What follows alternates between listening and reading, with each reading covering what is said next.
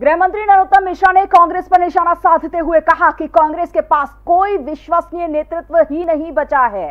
विश्वसनीयता खो चुके व्यक्ति के बारे में विश्वसनीयता की बात भी करना बेईमानी है। उन्होंने कहा, दिग्विजय सिंह, कश्मीर के निर्वासितों के मन में एक बार फिर भ्रम फैलाकर भय उत्पन्न करना चाहते हैं। नरोत्तम मिश्रा ने कहा, हम मुसलमानों की विरोधी नहीं हैं। हम उस मानसिकता के विरोधी हैं जो भारत में रहकर पाकिस्तान के समर्थन के नारे लगाते हैं। उन्होंने कहा, संघ प्रमुख भागवत के बयान से दिग्विजय सिंह के बयान की तुलना करना ठीक नहीं है। दिग्विजय सिंह कश्मीर के निर्वासितों के मन में एक बार फिर भ्रम फैलाकर भय उत्पन्न करना चाहते हैं ताकि वे पुनः कश्मीर में न बस पाए। नरोत्तम मिश्रा ने कहा, शिवराज सरकार सदैव सकारात्मक सोच के साथ कार्य करती है। परिणाम स्वरूप कोरोना से संघर्ष कर हम विजय हुए हैं। अब कोरोना से प्रभावितों को संबल देने की दिशा में कार्य किया जा रहा है। रुके हुए कार्यों और उद्योग धंधों को आगे बढ़ाने का कार्य किया जाएगा। शिवराज सिंह चौहान की सोच है कि एक दिन भी व्यर्थ नहीं गंवाया जाए। मिश्रा ने कहा, प्रदेश में कोरोना का रिकवरी रेट अट्ठानवे दशमलव चार एक प्रतिशत हो गया है। पॉजिटिविटी रेट घटकर शून्य दशमलव तीन चार प्रतिशत हो गया है। अब प्रदेश में एक्टिव केस तीन हज़ार नौ सौ इकतालीस रह गए हैं। पिछले 24 घंटे में 242 नए पॉजिटिव केस आए हैं, जबकि स्वस्थ होकर 516 लोग अपने घर गए हैं। उन्होंने कहा, दिग्विजय सिंह का बोलना, राहुल गांधी का अभी तक वैक्सीन नहीं लगवाना और सिमी के जेल में बंद आतंकियों द्वारा वैक्सीन लगवाने से इनकार करना, यह देश विरोधी सोच को प्रदर्शित करता है। देखो, भाव के ऊपर रहता है विषय।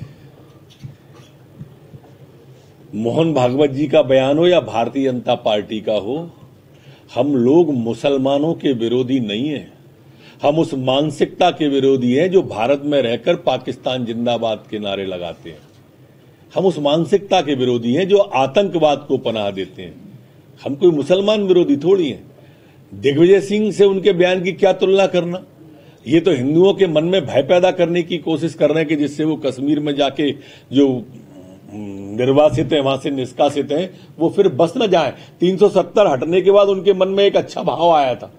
ये उसमें भय पैदा करना चाहते हैं और भ्रम पैदा करना चाहते हैं कि उनकी सरकार आएगी तो फिर नब्बे जैसा कत्लेआम होगा। देखो, ये अकेले दिग्विजय सिंह जी का सोच नहीं है। वैक्सीन के प्रति भ्रम पैदा करना,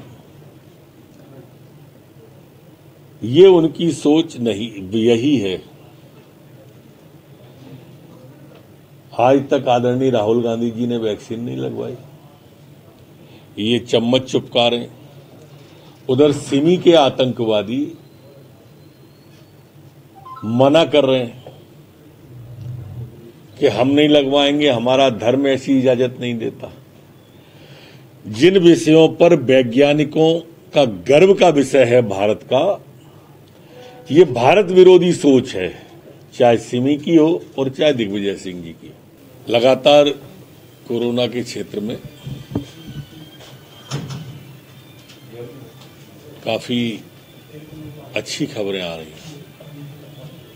आज पूरे मध्य प्रदेश में कुल 242 नए प्रकरण आए जबकि ठीक होकर अपने गंतव्यों की ओर 516 लोग गए। मध्य प्रदेश में एक्टिव केस कुल 3,941 ही बचे हैं अब। पॉजिटिविटी रेट हमारी अब एक परसेंट नहीं रही, माइनस परसेंट, माइनस में चली गई है, ज़ीरो पॉइंट थ्री फोर रह गई है। अगर हम इसको रिकवरी रेट की ओर देखेंगे तो रिकवरी रेट हमारी अंठानवे दशमलव फोर वन प्रतिशत हो गई। लेकिन कोई ढील नहीं और सावधानी में कोई कमी नहीं। संगीत की स्वर लहरियों से सांस्कृतिक ताने बाने तक चंबल के पीड़ों से नक्सलवादियों के गढ़ तक झोपड़ी से महलों तक ठेलों से मेलों तक पगडंडियों से सड़कों तक गाँव से शहरों तक व्यापार से उद्योगों तक राजनीति से कूटनीति तक। दखन न्यूज़। आपके हक